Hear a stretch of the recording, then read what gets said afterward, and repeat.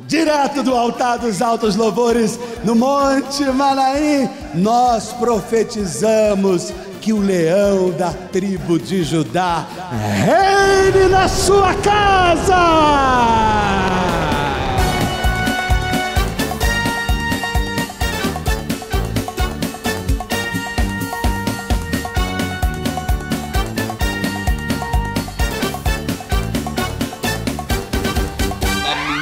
Casa tem um leão, sempre pronto pra atacar.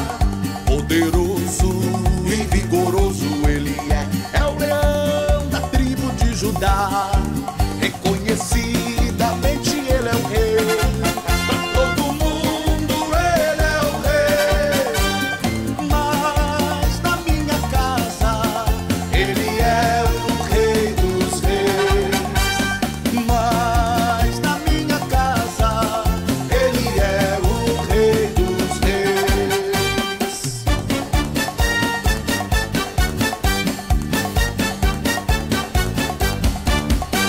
Senhor.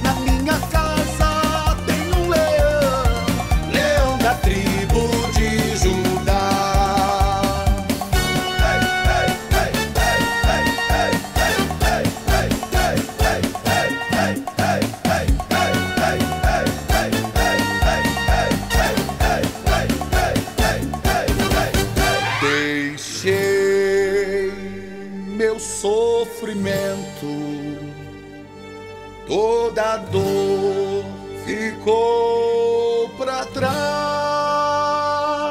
Eu levanto meu lenço para dizer que vou seguir em paz.